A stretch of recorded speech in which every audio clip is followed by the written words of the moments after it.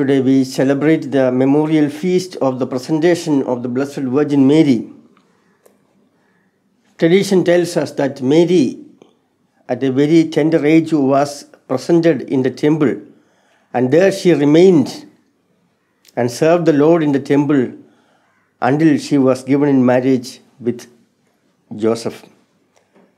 Today, also being Saturday, let us renew our love and devotion to the Blessed Virgin Mary and intercede with her that we too may become effective instruments in the hands of God. We too may become a dwelling place for God in our own lives.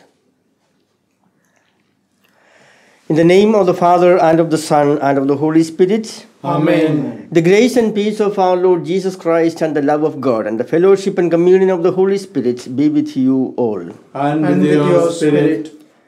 To prepare ourselves to celebrate this Holy Eucharist worthily, let us call to our minds our sinfulness, shortcomings, and failures, and ask the Lord pardon and mercy. I confess to Almighty God and, you, my brothers and sisters, that I have greatly sinned in my thoughts, in my words, in what I have done, and in what I have failed to do through my fault, through my fault, through my most grievous fault. Therefore I ask Blessed Mary, our Virgin, all the angels and saints, and you, my brothers and sisters, to pray for me to the Lord our God. May Almighty God have mercy on us, forgive us our sins, and bring us to life everlasting. Amen. Lord, have mercy. Lord, have mercy. Christ, have mercy. Christ, have mercy. Lord, have mercy. Lord, have mercy. Let us pray. As we venerate the glorious memory of the Most Holy Virgin Mary, grant, we pray, O Lord, through her intercession, that we too may merit to receive from the fullness of your grace. Through our Lord Jesus Christ, your Son, who lives and reigns with you in the unity of the Holy Spirit, one God forever and ever. Amen.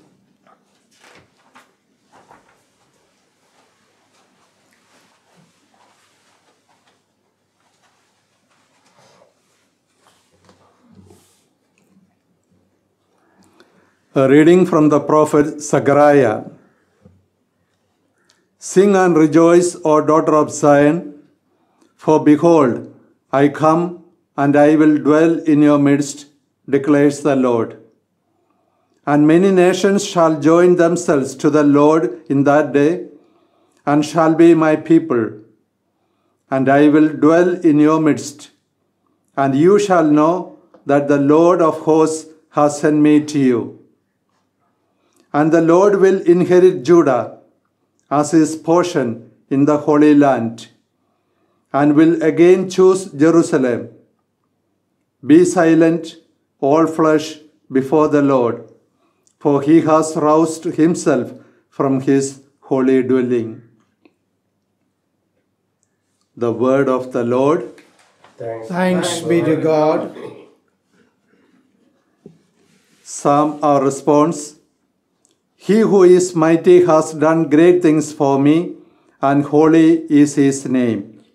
He who is mighty has done great things for me, and holy is his name. My soul magnifies the Lord, and my spirit rejoices in God my Saviour. He who is mighty has done great things for me, and holy is his name. For he has looked on the humble estate of his servant. For behold, from now on, all generations will call me blessed. For he who is mighty has done great things for me, and holy is his name. He who is mighty has done great things for me, and holy is his name. And his mercy is for those who fear him from generation to generation. He has shown strength with his arm. He has scattered the proud in the thoughts of their hearts. He who is mighty has done great things for me, and holy is his name. He has brought down the mighty from their thrones and exalted those of humble estate. He has filled the hungry with the good things, and the rich he has sent away empty. He who is mighty has done great things for me, and holy is his name. He has helped his servant Israel in remembrance of his mercy, as he spoke to our fathers, to Abraham, and to his offspring forever. He who is mighty has done great things for me, and holy is his name. Gospel acclamation. Alleluia, Alleluia. Blessed are those who hear the word of God and keep it. Alleluia.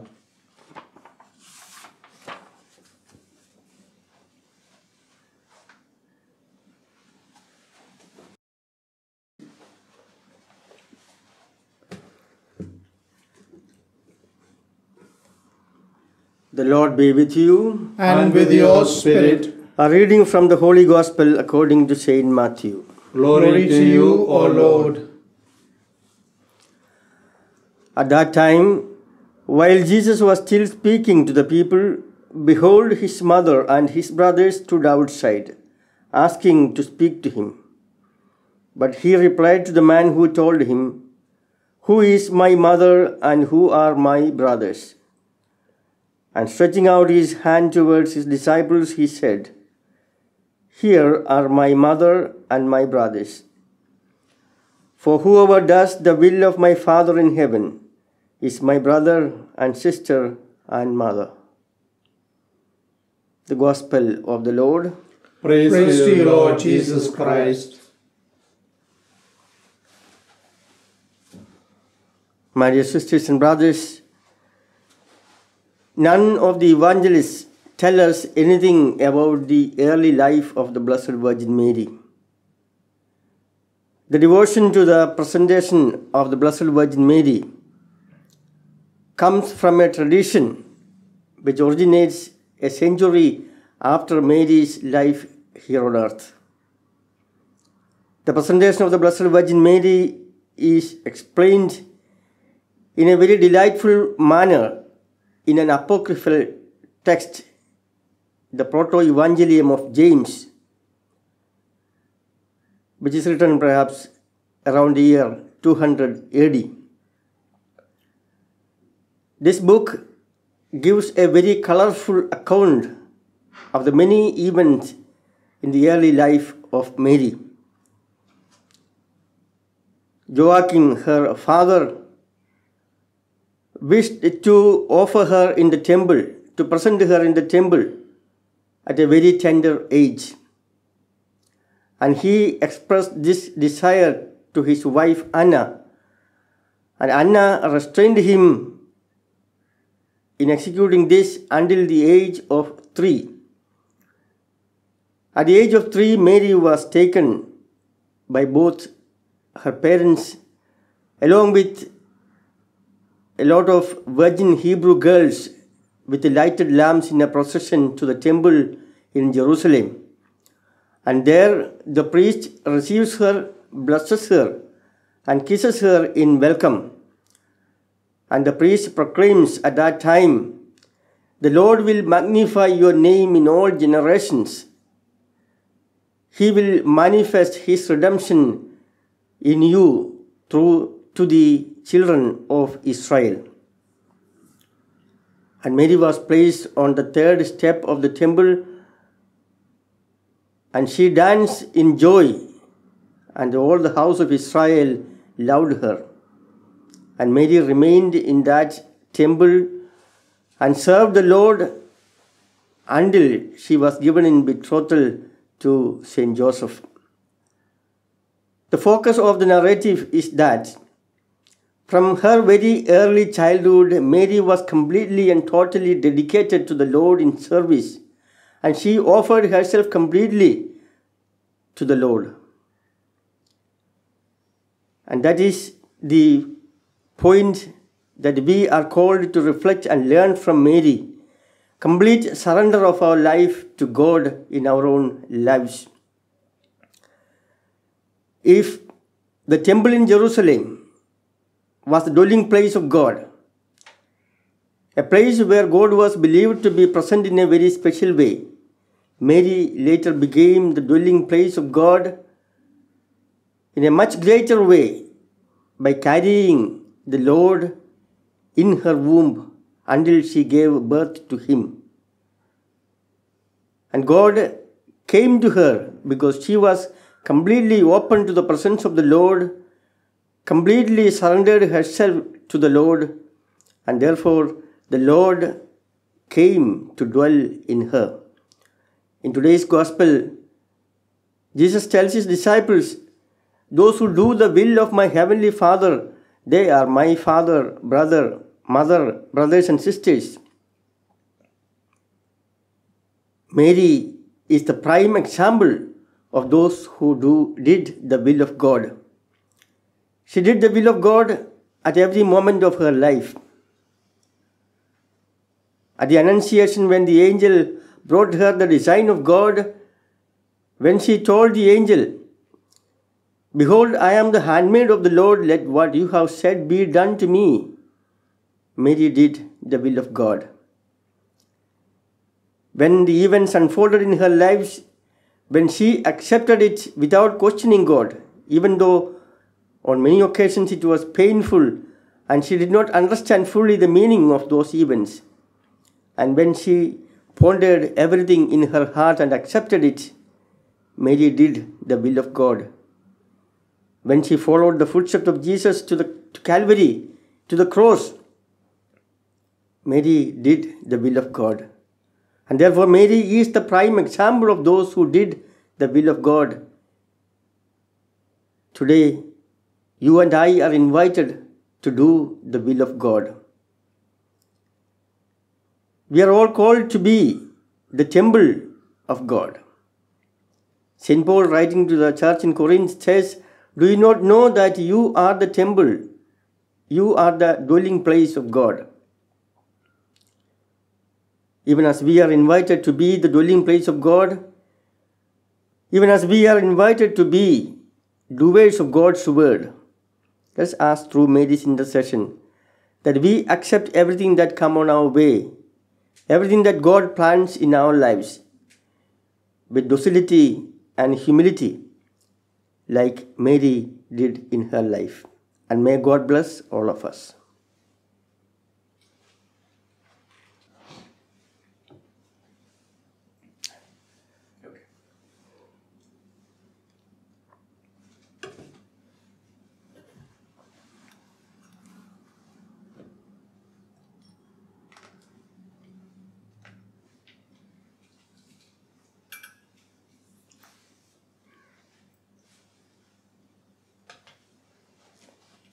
By this mingling of the water and wine may be share the divinity of Christ who humbled himself to share our humanity.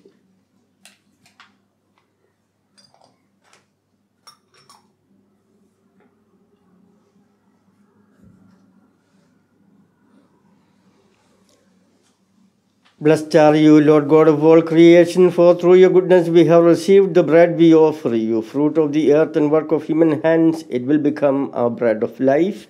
Blessed be God forever. Blessed are you, Lord God of all creation, for through your goodness we have received the wine we offer you. Fruit of the wine and work of human hands, it will become our spiritual drink. Blessed be God forever. Lord God, please receive us and be pleased with the sacrifice we offer you with a humble and contrite heart. Lord, wash away my iniquity and cleanse me from my sins.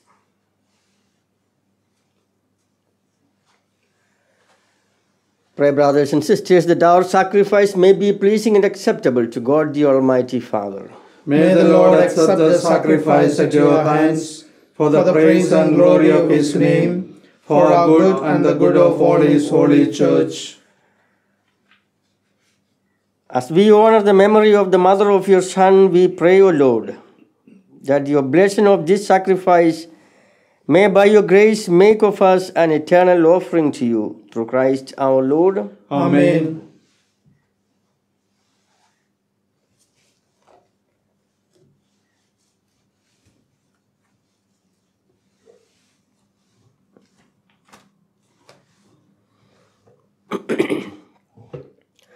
The Lord be with you. And with your spirit, Lift up your hearts. we lift them up to the Lord. Let us give thanks to the Lord our God. It is right and just. It is truly right and just, our duty and our salvation, always and everywhere to give you thanks.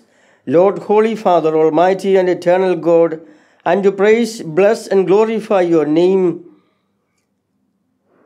O Blessed Virgin, ever Virgin Mary. For by the overshadowing of the Holy Spirit, she conceived your only begotten Son, and without losing the glory of virginity, brought forth into the world the eternal light, Jesus Christ our Lord. Through him the angels praise your majesty, dominions adore, and powers tremble before you. Heaven and the virtues of heaven and the blessed seraphim worship together with exultation. May our voices, we pray, join with theirs in humble praise as we acclaim. Holy, holy, holy, Lord God of hosts, heaven and earth are full of your glory. Hosanna in the highest. Blessed is he who comes in the name of the Lord. Hosanna in the highest. You are indeed holy, O Lord, the fount of all holiness. Make holy, therefore, these gifts, we pray, by sending down your Spirit upon them like the dewfall, so that they may become for us the body and blood of our Lord Jesus Christ. At the time he was betrayed and entered willingly into his passion, he took bread and giving thanks, broke it and gave it to his disciples, saying, Take this, all of you, and eat of it, for this is my body, which will be given up for you.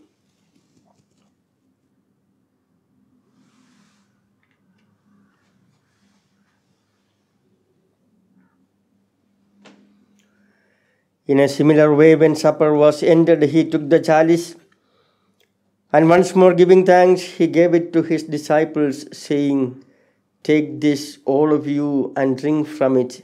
For this is the chalice of my blood, the blood of the new and eternal covenant, which will be poured out for you and for many for the forgiveness of sins. Do this in memory of me.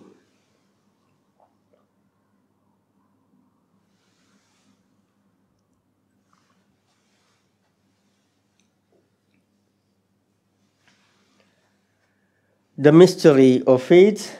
We proclaim your death, O Lord, and profess your resurrection until you come again. Therefore, as we celebrate the memorial of his death and resurrection, we offer you, Lord, the bread of life and the chalice of salvation, giving thanks that you have held us worthy to be in your presence and minister to you. Humbly we pray that partaking of the body and blood of Christ, we may be gathered into one by the Holy Spirit.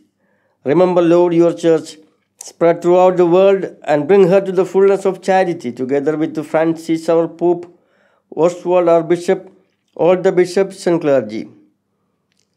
Remember also our brothers and sisters who have fallen asleep in the hope of the resurrection, and all who have died in your mercy, welcome them into the light of your face.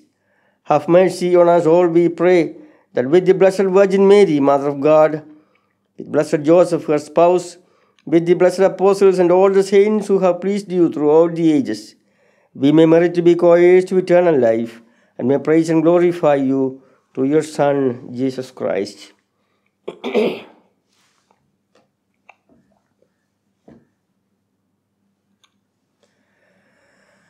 Through him and with him and in him, O God Almighty Father, in the unity of the Holy Spirit, all glory and honor is yours forever and ever.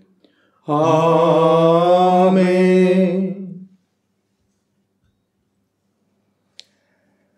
At the Savior's command and formed by the divine teaching, we dare to pray. Our Father, Who art in heaven, hallowed be thy name. Thy kingdom come, thy will be done, on earth as it is in heaven. Give us this day our daily bread, and forgive us our trespasses, as we forgive those who trespass against us. And lead us not into temptation, but deliver us from evil. Deliver us, Lord, we pray, from every evil. Graciously grant peace in our days, that by the help of your mercy we may be always free from sin and safe from all distress, as we await the blessed hope and the coming of our Savior, Jesus Christ. For the kingdom, the power, and the glory are yours, now and forever. Lord Jesus Christ, who said to your apostles, Peace I leave you, my peace I give you.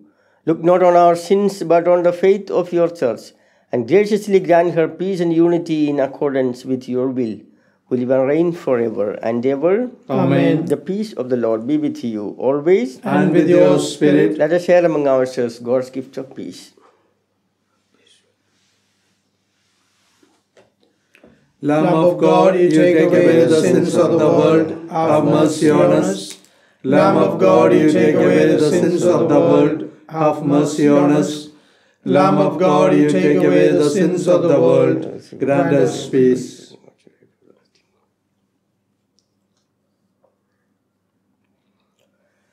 Behold Jesus Christ, the Lamb of God who takes away the sins of the world. Happy are we who are invited to share in this banquet of love.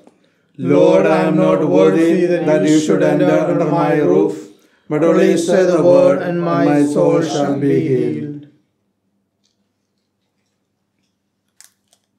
May the body and blood of Christ keep me safe for eternal life.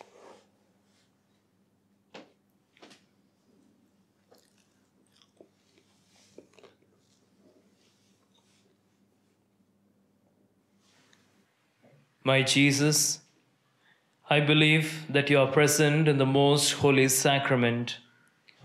I love you above all things, and I desire to receive you into my soul. Since I cannot at this moment receive you sacramentally, come at least spiritually into my heart. I embrace you as if you were already there and unite myself wholly to you. Never permit me to be separated from you. Amen.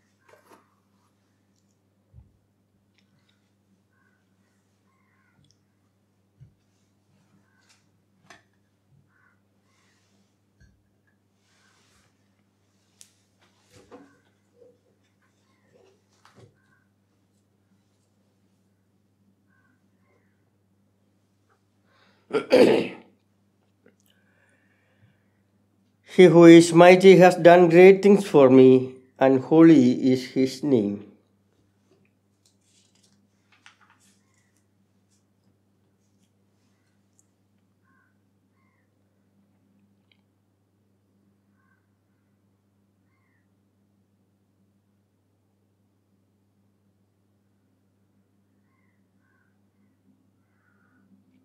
Let us pray.